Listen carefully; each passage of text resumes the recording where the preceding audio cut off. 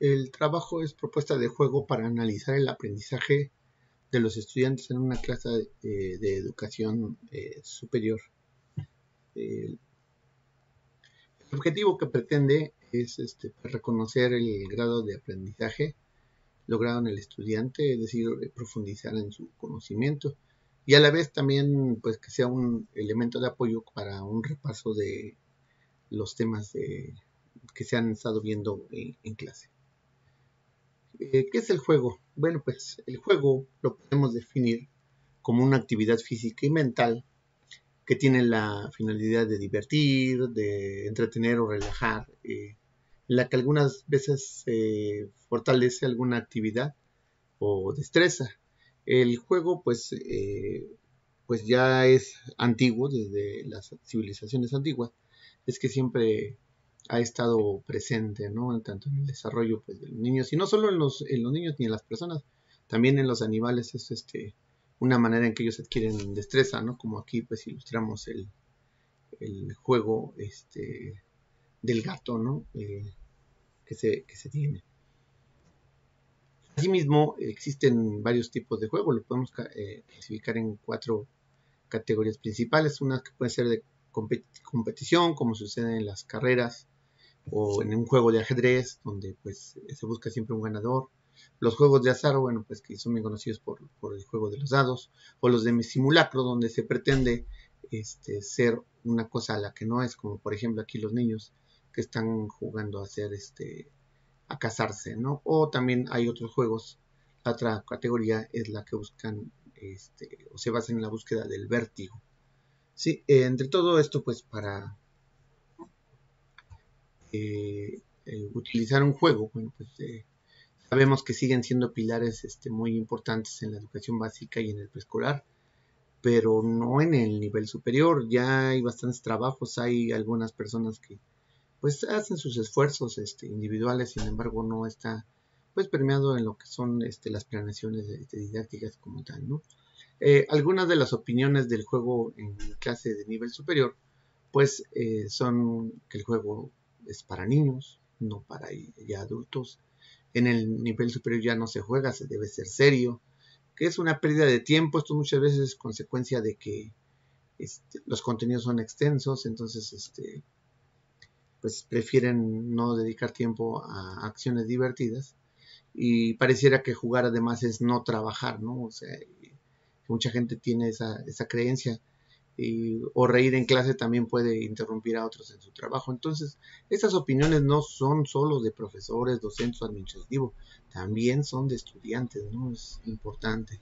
Entre las cuestiones, pues para realizar un juego, pues uno debe tomar en cuenta que debe de estimular, estimular el, aprendizaje, pues este, considerando claro que el juego no debe perder sus, reglas, sus características propias por el simple hecho de eh, utilizarse como un elemento educativo, ¿no? Este, entre las cosas que puede utilizarse un juego, pues están, este, según un documento de la UNESCO de 1980, pues que son los ejercicios, es decir, actitudes y comportamientos físicos pueden apoyar las expresiones verbales, canciones, eh, relatos, cuentos, adivinanzas, juegos lógicos y de razonamiento, o de objetos concretos que pueden ser figurativos, simbólicos, muñecos, máscaras, eh, o de comportamientos plásticos como la coreografía, la transformación, el dibujo, o conjunto de objetos que pueden ser que no tengan ningún sentido, eh, pero pueden tener un destino, pues a lo mejor lúdico, eh, porque ejercen atracción o porque pueden prestar este, eh, atención al sujeto. ¿no? Entonces, considerando ese tipo de características para un juego, eh, todo esto, bueno, pues fue realizado para niños, pero eh, nosotros pues proponemos a nivel superior pues esta actividad, ¿no? Es este, básicamente es un recorrido que tenemos de un inicio que va este, por un camino hasta una meta, ¿no? Entonces es de competición, pero también utilizamos el azar, ¿no? Porque se lanza un lado por, por turno.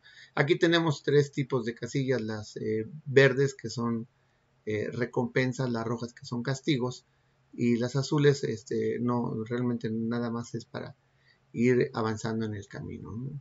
Aquí el juego se toma en cuenta pues que tuvieran este, algunos diseños relacionados con la asignatura de laboratorio de física para este, eh, sugerir o incrementar la curiosidad de, los alumnos en este caso.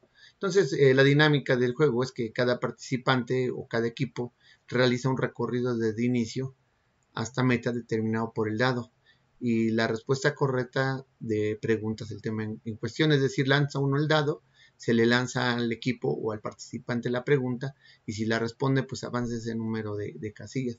En caso contrario, eh, toma el turno el siguiente alumno y se le hace la misma pregunta. Si la logra resolver, pues él es el que gana ese avance en casillas. Si no, hasta el siguiente alumno. Y si al terminar eh, todo el grupo no es capaz de resolver la, pregunta, entonces este, lo que se hace es que se da la respuesta. Y continúa este, el siguiente equipo eh, que no había lanzado el dado. Eh, aquí, como les decía, pues ya considera este, recompensas y castigos. Y las recompensas y castigos también deben de estar enfocadas pues, para que no sean este, pues cuestión de, de, este, de burlas o, de ofensas, ¿no? que no sean ofensivas. Entonces, eh, son las tarjetas, este, por ejemplo, puede ser una que avanza dos casillas, avanza una casilla, tiene un doble tiro, pone castigo, eh, el comodín, bueno, puede cancelar castigo, es decir, si te sale una de castigo, con esta, si ya te tenías tú la tarjeta de comodín, este, cancelas ese castigo, o avanzar el número de puntos, ¿no? Extra. Entre los castigos, pues son regresar dos casillas, regresar una castilla, cantar, mm, bailar, hacer pantomima y como pues se dan cuenta, pues estamos considerando ya los, los elementos, ¿no? del juego, ¿no? Como, como aprendizaje. También está eh, eh, uno de los castigos es que la ficha eh, que pone castigo te va a dar, va a elegir entre todos esos castigos. Inclusive aquí se dio la opción hasta pues para poner una canción característica para, para este, cantar o para bailar, ¿no?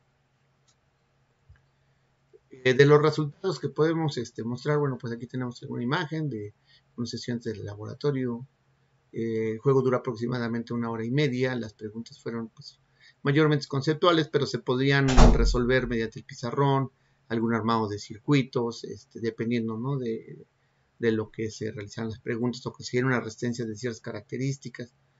Eh, los comentarios de los alumnos pues fueron que este, les gustó salir de la rutina, pues fue un buen repaso de los conceptos, que me gustaría que también se agregara el límite de tiempo, me gustaría que se hicieran problemas de física en, equipo. Entonces, esta actividad realmente fue muy importante e interesante porque a partir de esto, eh, pues nos dimos cuenta que el estudiante es capaz de estudiar en un, eh, o trabajar en un ambiente distinto al habitual, lo que es el salón de clases o, el laboratorio, a pesar de encontrarse en el mismo lugar.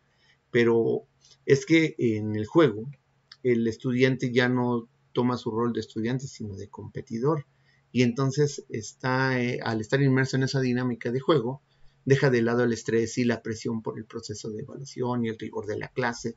Y eso, bueno, pues permite que se analice el aprendizaje de los contenidos de una manera más clara y este y esto pues eh, repasando el nivel eh, el, nivel de exigencia pues requerido en los contenidos no o sea esto no implica que va a ser mucho más fácil el, eh, los contenidos se van a simplificar o tienen que bajarse de nivel porque pues también es una de las eh, cuestiones que la gente pues le teme, ¿no? Que por jugar no está uno viendo el nivel necesario de los, de los contenidos. ¿Qué fue lo bueno de esto? Bueno, que se evidenció quienes tenían dudas sobre las preguntas, quienes daban la respuesta, justificaban la respuesta y aquí fue que se resaltó que mayormente las personas tímidas este, tienen un avance del aprendizaje sobresaliente, pero no lo reflejan con la evaluación tradicional del examen, eh, o los desarrollos, en este caso también se califica con prácticas y no es tan fácil evidenciar ese tipo de cosas. Sin embargo, con el juego fue posible ver que sí tenían conocimientos más profundos. Lo malo, bueno, pues la realización de la actividad provocó diversos climas de pantomima, canto y baile, fueron de veras extremadamente muy buenos, provocó, provocó un exceso de risas y de diversión. Y esta fue una situación incómoda realmente porque a veces este, si hay actividades en salones o laboratorios adyacentes, lo cual fue que sucedió que nos pidieran que guardáramos silencios, ¿no? Este, por lo que se quiere, bueno, pues tener eh, precaución, ¿no? De, de, dónde y, en cuándo se utilizan o se aplican este tipo de, pues, de actividades de enseñanza. Y bueno, pues eh, esto es todo. Muchas gracias.